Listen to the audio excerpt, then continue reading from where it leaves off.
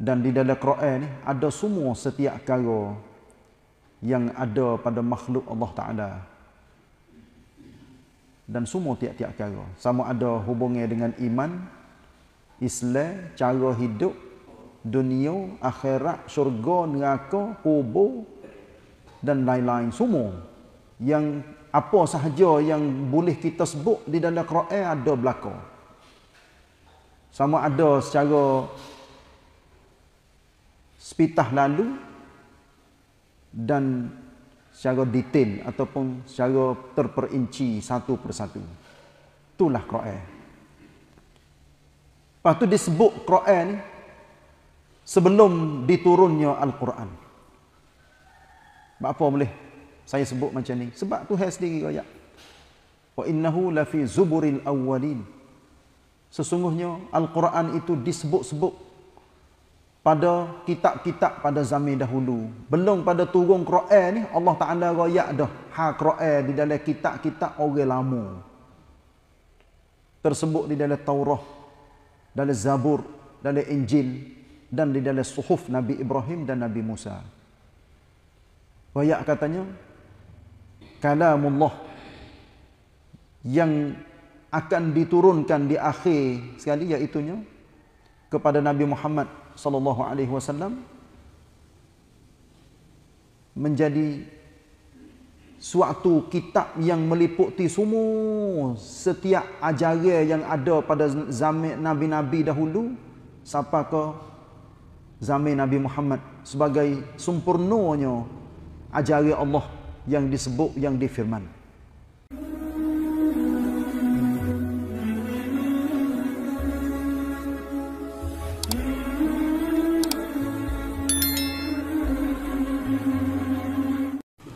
أعوذ بالله من الشيطان الرجيم. وإنه لتنزيل رب العالمين. نزل به الروح الأمين على قلبك لتكون من المنذرين. بلسان عربي مبين. وإنه, وإنه لفي زبر الأولين. أولم يكن لهم آية أن يعلمه علماء بني إسرائيل. ولو نزلناه على بعض الأعجمي ولو, ولو نزلناه على بعض الأعجمين فقرأه عليهم ما كانوا به مؤمنين. كذلك نسلكه في قلوب المجرمين. لا يؤمنون به حتى يروا العذاب الأليم. ayat 192 sampai 201 surah Asy-Syu'ara mula masuk tajuk tajuk lain dah tak ada hubungnya dengan kisah nabi-nabi tapi hubungnya dengan al-Quranul Karim yang Allah Taala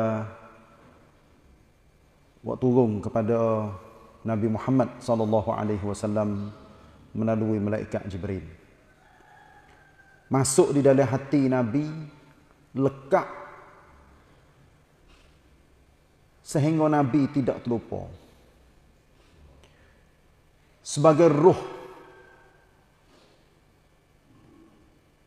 kepada nabi dan kepada ummah. Itulah Quran untuk nabi sebar kepada orang ramai kepada ummah dia dan diwarisi oleh orang-orang selepas daripada nabi. Bermula daripada sahabat sampai ke kita hari ini dan kita yakin bahawa Al-Quran akan disebar oleh para ulama sampai ke hari kiamat. Untuk jadikan pengajaran ilmu pengetahuan pegenge cara hidup. Dan di dalam Quran ni ada semua setiap perkara yang ada pada makhluk Allah Taala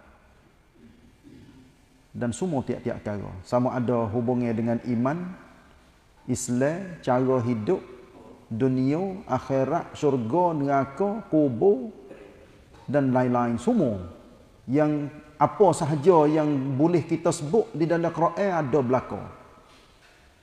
Sama ada secara sepitah lalu dan secara detail ataupun secara terperinci satu persatu. Itulah Quran. Lepas tu disebut Quran ni sebelum diturunnya Al-Quran. Apa boleh saya sebut macam ni sebab Tuhan sendiri ayat wa innahu lafi zuburil awwalin sesungguhnya al-Quran itu disebut-sebut pada kitab-kitab pada zaman dahulu. Belum pada turun Quran ni Allah Taala royak dah. Ha Quran di dalam kitab-kitab orang lama. Tersebut di dalam Taurat dalam Zabur dalam Injil dan di dalam suhuf Nabi Ibrahim dan Nabi Musa. Wayak katanya kalamullah yang akan diturunkan di akhir sekali iaitu kepada Nabi Muhammad sallallahu alaihi wasallam menjadi suatu kitab yang meliputi semua setiap ajaran yang ada pada zaman nabi-nabi dahulu sampai ke zaman Nabi Muhammad sebagai sempurnanya ajaran Allah yang disebut yang difirman.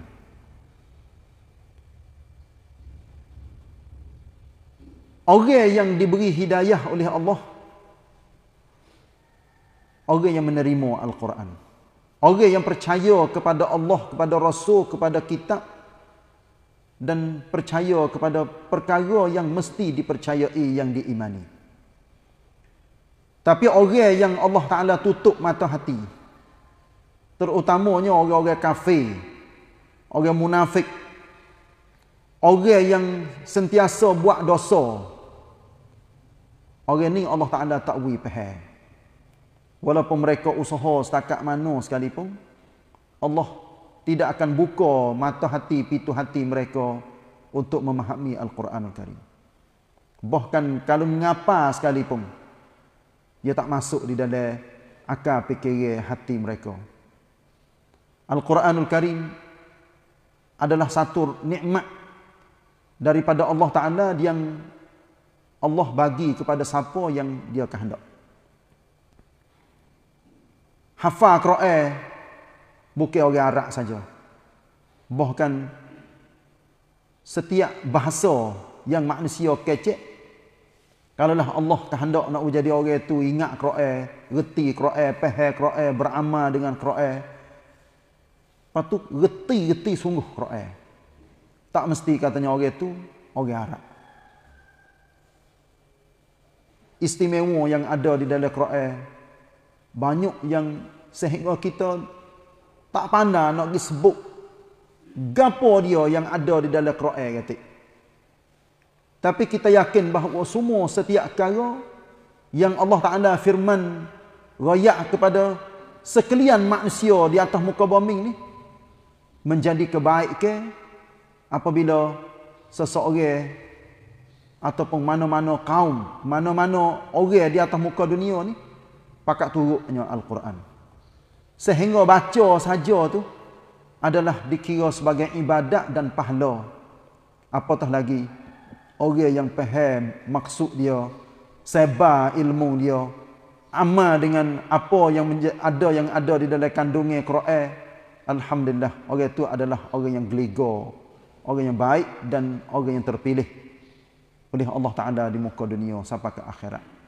Dan dengan Quran ni juga baik pun ada pada diri dia bagi orang yang ikut dia dan beramal dengannya. Tapi amaran bagi siapa-siapa yang baca Quran, reti Quran tapi menyalahi Quran. Lawan Quran. Baca-baca Quran tapi pertikam amalan faham tak serupa dengan apa yang dikehendaki oleh Quran. Ini adalah manusia yang bahaya. Manusia yang perlu kepada beki semula naik duduk di atas jalan yang betul semula. Sebab boleh jadi Pertikam dia, hak dia duk buat, duk amal, duk pahal, duk reti tu. Berhajat kepada betul. Betul, betul, betul, betul. Lepas tu, kalau sekiranya dia sendiri nak betul, insyaAllah dia akan betul. Tapi kalau sekiranya dia sendiri duk niat tak molek dah, maka walaupun dia baca banyak sekalipun Quran, tapi perbuatan dia, amalan dia, akhlak dia tak serupa dengan Quran. Inilah yang Nabi katanya saqahu ila nar. Maka Quran itulah akan tolak orang itu masuk ke dalam api neraka. Wal billah. Sebab tu kita dengan Quran ni sebagai seorang muslim, mukmin, lelaki perempuan mesti kalau bahasa lama yang katanya tidak dapat tidak Maknanya mesti mesti kita kena duduk dengan Quran hari-hari hari-hari hari-hari hari sampai ke hidup sampai ke akhir hidup kita. Maksud duduk dengan Quran artinya kita kena kelom clear dengan Quran ni jadi pena diaukan hidup kita dengan Quran. Sama ada kita baca, kita mengaji ilmu dia, faham dia, sebar dia, menulis dia. Maknanya sebar tafsir Quran dan sebagainya. Siapa yang Allah Taala bagi kepada orang itu kebaikan yang sangat banyak, maka itulah dinamakan orang itu orang yang faham Quran. Sebab tu Allah firman di dalam Qurannya, "Yu'til hikmata man yasha' wa man yu'tal hikmata faqad utiya khairan katsira." Dalam surah Al-Baqarah. Allah beri hikmat Hikmat di sini ulama-ulama pakat mari duk tafsir di dalam berbagai bentuk iaitu siapa-siapa yang diberi al-Quran kepadanya.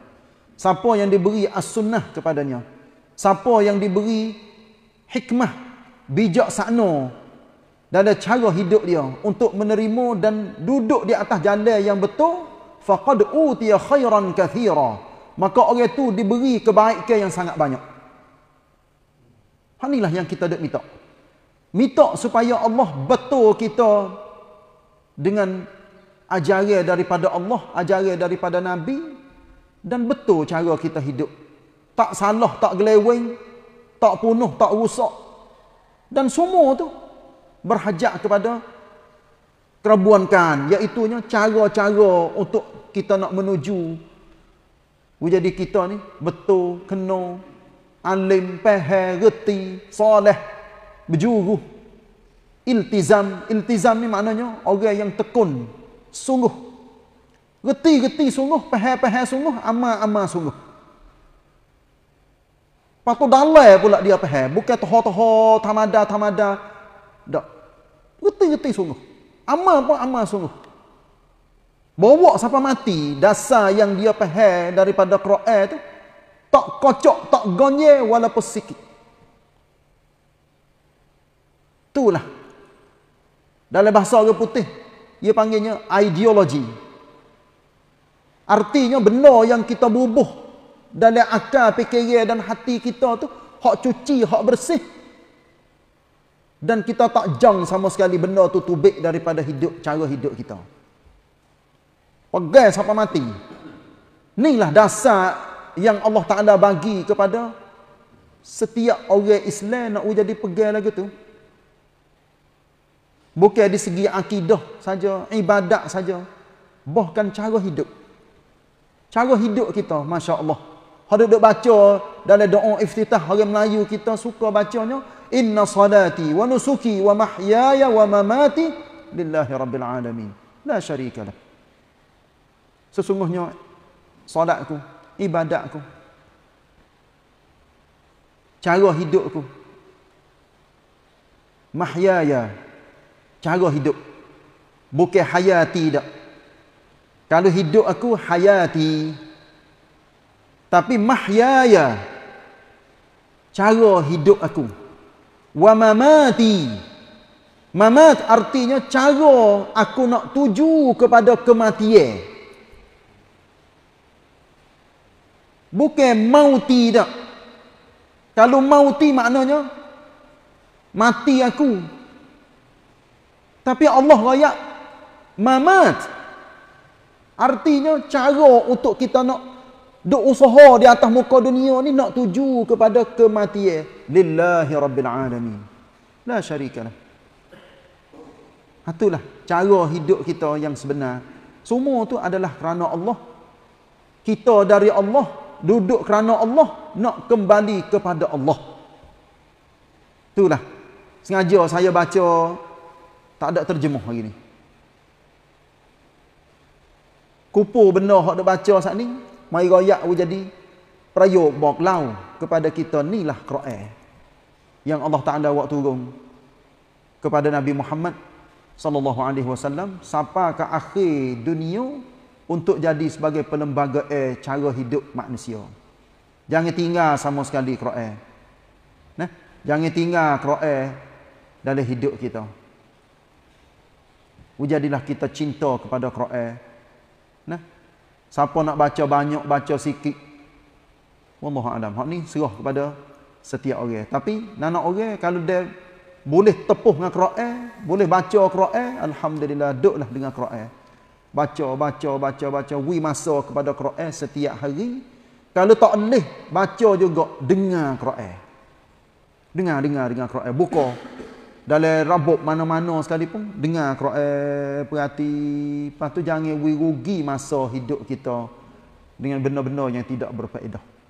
Kalau bolehnya, dengar semua. Quran kita dengar, hadis kita dengar, pengajian-pengajian kita dengar. Lepas tu pengajian pula jadi hak tulen, hak betul, hak sahih selalu dah. Yang kita ngaji.